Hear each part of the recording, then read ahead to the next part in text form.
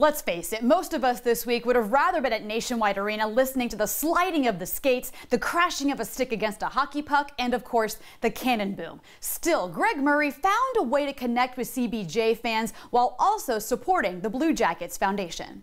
We went from a day where we were going to play to a day we were going to play with no fans, and then we were not playing at all. And it was like all of a sudden we're cut off. Greg Murray's booming voice along with the cannon boom are staples at CBJ games. Now, with the hockey season on ice, Greg is using his vocal talents on the Cameo app to raise some money and create some smiles. Use your imagination. My voice is at your disposal. For $25, Greg will make an announcement for you, and all the money goes towards the Blue Jackets Foundation. I hope you have an awesome, super great birthday.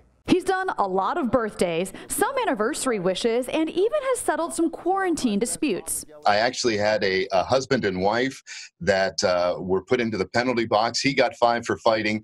She got the instigator five for fighting and a 10 minute misconduct. But most notably, he's making memories for young fans. The Columbus goal, her first of the season, scored by number nine, because she's nine years old, Hayley Williams. It's been hard on my daughter not being able to go to school. I thought it was a nice way to cheer her up. Sometimes when she is so happy that she gets overwhelmed, she cries happy tears, and I was not expecting that. So that just made it even better, honestly, that she was that happy. It's been awesome uh, to have the fans react this way and to get to just try and bring a smile to somebody's face while, you know, they're sitting at home doing not a lot.